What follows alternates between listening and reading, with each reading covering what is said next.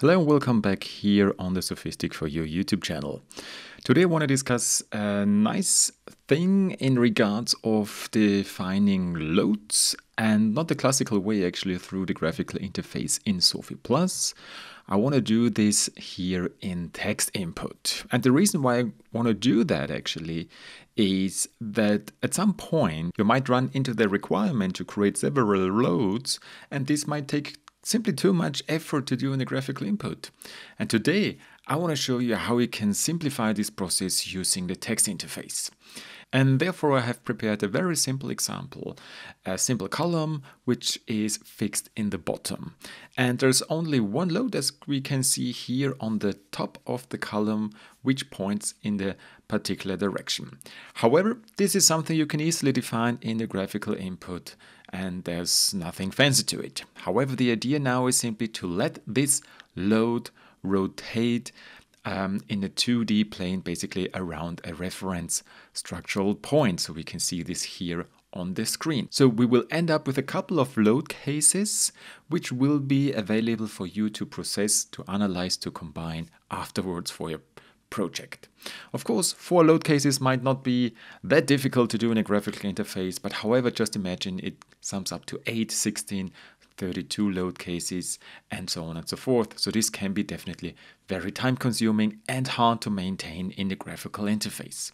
So the idea is now to prepare a script which has a couple of input parameters and those input parameters shall be the load case offset, the number of load cases and the load value.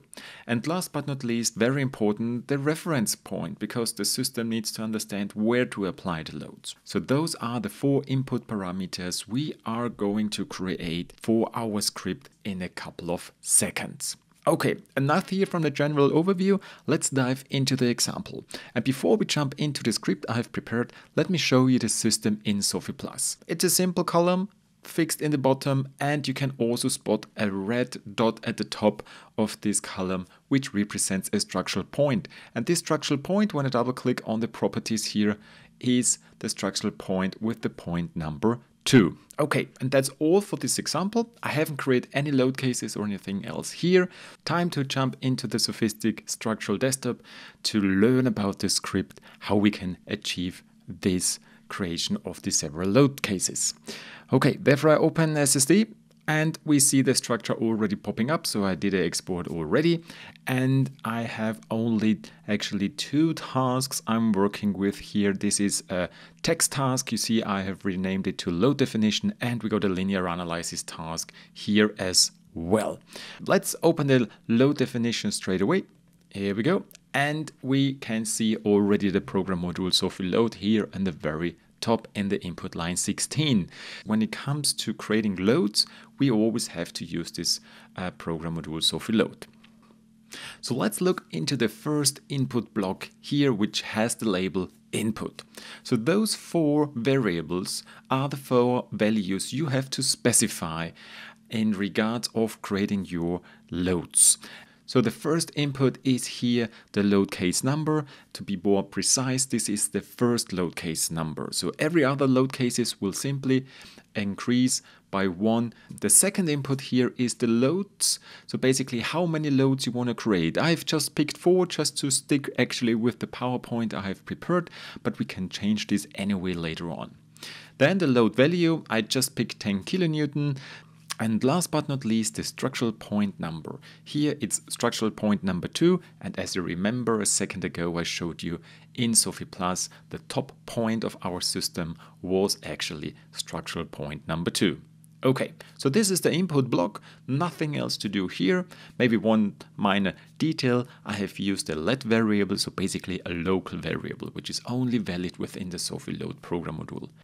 So let's look in the second part here in this example, and this is the more exciting one. It's the definition of the loop.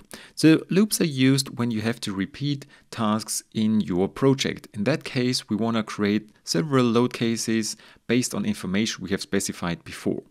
And our loop basically runs um, exactly four times, and this is defined by this loads variable. In our case, it's four.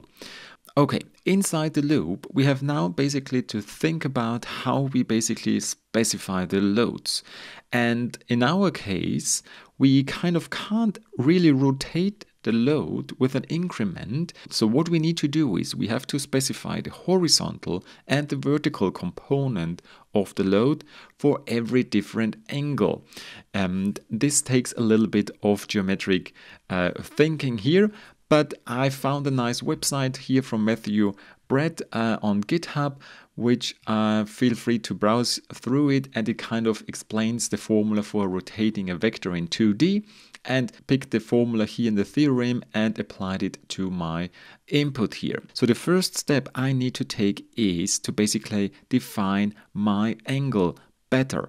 And beta basically is an accumulated angle of the different increments. So when the loop runs the first time, this angle beta will be zero because the increment of the loop hashtag i is zero. So the whole term 360 divided by hashtag loads will be zero. Okay, so this value 0 will then be used in the variable definition let hashtag cos bx, which is the cosine of beta times the load value to basically calculate here the uh, horizontal value. And the same is done for the vertical value, so basically the y direction, and is defined by let hashtag sine bx, and this is sine beta times p, and sine of 0 is actually 0. Okay, so and um, having this now in place, we can understand that every time the loop runs through, these values, let cos bx and let sine bx will change accordingly. And this is now the key actually of defining the load definition. Let's look into the load case definition. So every time the loop runs, a new load case gets specified.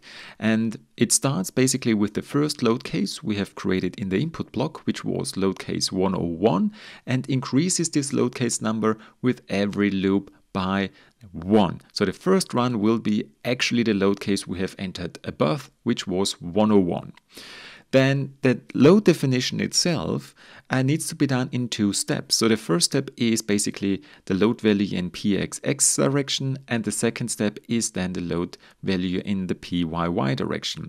And exactly here we can basically use the variables or the variable values we have created in the second ago, which were the variable cos bx and sine bx. Okay, so the input line of one point, just as an example, is point reference node number structural point number, which is our structural point number two. The type is the global pxx direction, and the value of this pxx direction is now the variable hashtag cos bx. And the second input line for the y direction is now um, simply adjusted a little bit that we have the PYY type and for the load value of course we need to have this vertical load value to end up with the resulting load of 10 kilonewton as we have specified above. If you haven't done before as I mentioned close now the loop otherwise you will run into a warning or an error. Cool. So basically that's all the input script you are going to need to create now these load cases. So let's calculate this straight away. So what I do is I calculate here the whole group, click on calculate calculation. So the load runs through and ASE as well. And when I jump into the system visualization, I see the four load cases popping up and I can now basically click through them one by one. Let me just quickly freeze this animation and set it to, I don't know, 50 so we can nicely see the deflection. And here we go.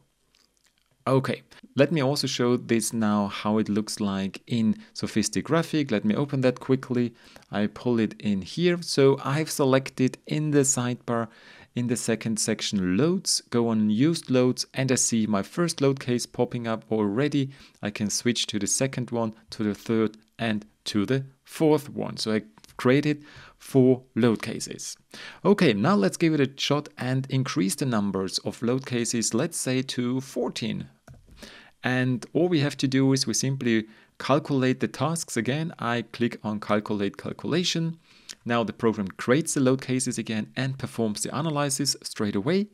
I switch here to the visualization and I can see already my load cases have increased to 14 in total. Of course, we can't see that much of a difference now here anymore. That's why I jump straight into SOFiSTiK Graphics to show you this here in a better view. So we got here uh, our 14 load cases and you can see how the load actually goes around our point. Okay, so basically that's the workflow you have to do if you need to create a couple of load cases rotating around a point. There's one tiny thing I want to share here as well, because sometimes when you play around in the script and for some reason you have created 14 load cases and then you want to go back to 4 load cases, for instance. If I now run the calculation again, what happens is that the 4 load cases will be created, however, the remaining load cases are still in the system. So therefore, I recommend when you work with these repeating tasks using the loop to basically delete load cases before you run the uh, load case generation again. So you can do that with that simple input line over here. I have created it here already. You stick again with the SOFiLOAD program module and what you do is you enter the input line, as we can see here, load case number, and then basically you remove all load cases, in my case, from 101 up to 199 before I create the new ones. And it is important when you want to remove a load case from the database to use the load case type delete. Okay, let's switch on actually now this as well and we stick with the four load cases and let's calculate this again. Now what happens is the software removes all the load cases, so basically the 99 load cases, and then we can generate the new ones without ending up actually with the other 10 load cases we actually don't need anymore. That's it actually for this video. I hope you enjoyed it. I hope you learned something new. And if you want to learn more about the text input and the basics and the fundamentals, you will find a link in the description to the text input in SOFiSTiK FEA Fundamentals course, where you can learn the CADINP language to create proper scripts for your projects. So thanks for watching and I hope I can welcome you in one of the next videos again.